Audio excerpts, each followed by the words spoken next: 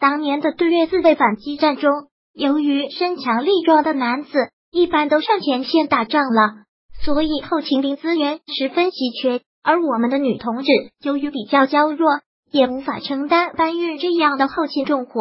于是，我军当时在云贵两省招募了大量的民工，帮助解放军在前线搬运物资，解决军需。其实，他们的工作有时候比前线打仗的战士还要危险的多。因为一旦遇到埋伏的时候，他们是没有武器抵抗的。可是，在这种情况下，我国仍有很多的民工踊跃报名。黄干宗也是其中一位。一九七九年一月二十五日，黄干宗当时正在一个临时阵营休息，这时越军突然袭击。由于这群民工没有作战经验，于是便逃跑了。黄干宗也是赶紧逃跑，可是由于方向不对。他在跑了一段时间之后就被扳倒，还被打晕绑了起来。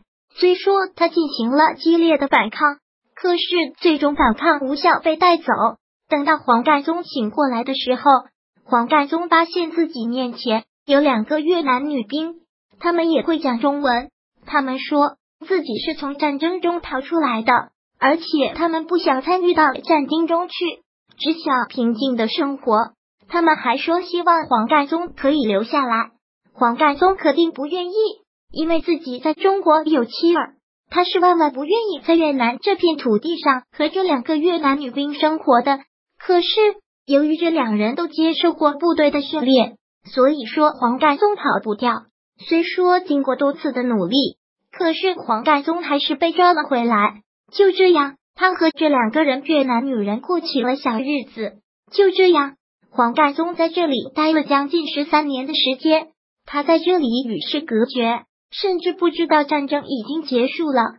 到了一九九一年的九月的一天，这两个越南女兵拿回了两瓶啤酒，上面居然写着中文。黄盖宗猜测战争已经结束了，两国可以进行正常的贸易往来了。于是，在当天夜里，趁两个越南女兵不注意跑了。过了三天三夜的时间。黄干宗终于回到了自己的祖国。